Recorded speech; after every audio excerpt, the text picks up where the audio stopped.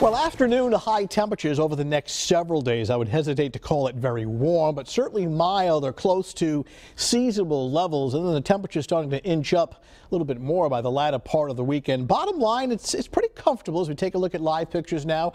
Oakland Beach in Warwick with plenty of sunshine. Of course, we remind you of this all the time. Water temperatures still on the chilly side, running at around 46 degrees. So while the sun is getting warmer this time of year, anytime you get the wind right off the water, if you're along along the immediate coastline, you, you say to yourself, where's the warm air? Well, the sea breeze, of course, is going to cool things off dramatically. So bottom line over the next several days to enjoy the warmest or the mildest of the air, you have to be away from the bay and away from the coastline. Plenty of sunshine in Providence right now, dry. Temperatures in the low and mid 50s. You see 54 in Smithfield, 6 degrees cool in Newport. And again, you get the wind off the water, keeping it nice but cooler there, coming in now at 48 degrees. Satellite and radar composite locally, not a cloud to be found in fact, all across New England, nothing but clear skies. Uh, you see some scattered clouds off to our west and upstate New York, but high pressure in control. Fair weather system will control things over the next several days, really keeping storms and precipitation away.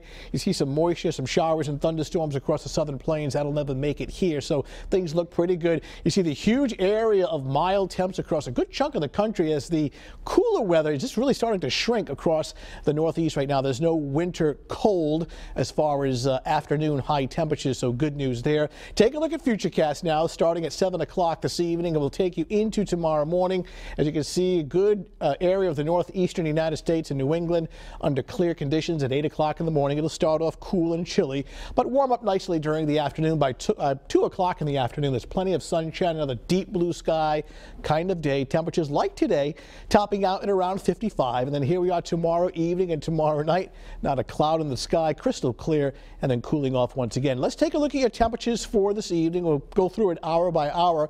It's uh, otherwise a quiet evening and a quiet overnight. Sunset time now is getting close to 7.30. Looking at uh, clear skies, 9 o'clock 45, 11 o'clock this evening we're at 42.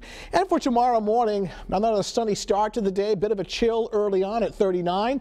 By noontime, recovering to 49 degrees. And then during the mid-afternoon hours, plenty of sunshine, dry air and comfortable temperatures away from the coastline in the mid-50s and slightly cooler near the water. Weather winning streak continues now through the weekend with a gradual warming trend uh, by Saturday and especially on Sunday with temperatures that'll be well into uh, the 60s. Friday looks pretty good in the mid 50s and then Saturday and Sunday not bad before we bring in some scattered showers on Monday. The temps in the 60s on Sunday would be away from the shoreline near the coast being held back into the 50s but otherwise a very nice weekend to get outdoors. So typical early spring weather, chilly at, uh, late at night and then mild in the afternoon. All right, sounds good. Thanks, Tony. More more coverage you can count on still.